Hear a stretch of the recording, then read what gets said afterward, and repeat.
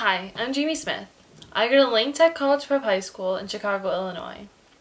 I live in a family of four with an adopted dog named Maggie. My interests include art, science, and athletics. Last year I took Media Crew, which is a digital based art class, and AP Environmental Science. This year I'm taking marine biology, zoology, ceramics, and AP 2D studio art. I'm on the basketball team and track team. In the spring, summer, and fall, I play for an outside club basketball team. In my free time, I like hanging out with family and friends. I also enjoy volunteering. Last summer, I volunteered at the Anti Cruelty Society in their Team to Care program.